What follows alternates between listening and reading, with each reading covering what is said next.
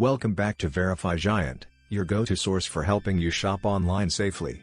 Today, we're diving into Hotel Traghetto in Civitavecchia, Italy. Spoiler alert, it's got its ups and downs, much like my attempts at cooking Italian pasta.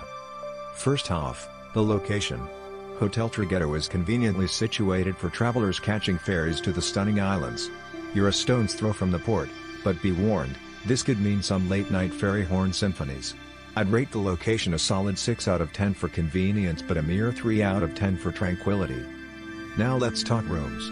They're decent, but calling them luxurious would be like calling a Fiat a Ferrari. The decor is functional but uninspired. I'd give the room quality a 5 out of 10. Onto the bathrooms, clean, but if you're expecting a spa-like experience, you might as well be dreaming. I'd rate the bathrooms a 4 out of 10. Moving on to amenities, there's no pool. Yes, you heard that right. Instead, enjoy the complimentary breakfast. But don't get too excited, it's not all you can eat. Score this a 6 out of 10. When it comes to the food, it's mostly continental with a sprinkle of Italian flair.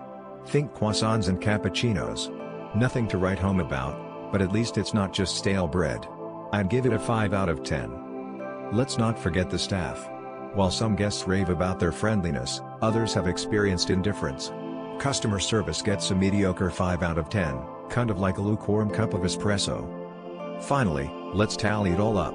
Location, 6, room quality, 5, bathrooms, 4, amenities, 6, food, 5, staff, 5. That's a grand total of 31 out of 60. Not exactly something to celebrate, is it? So, is Hotel Traghetto worth visiting? The answer is a resounding no. Unless you enjoy the thrill of mediocrity, perhaps it's best to explore other options.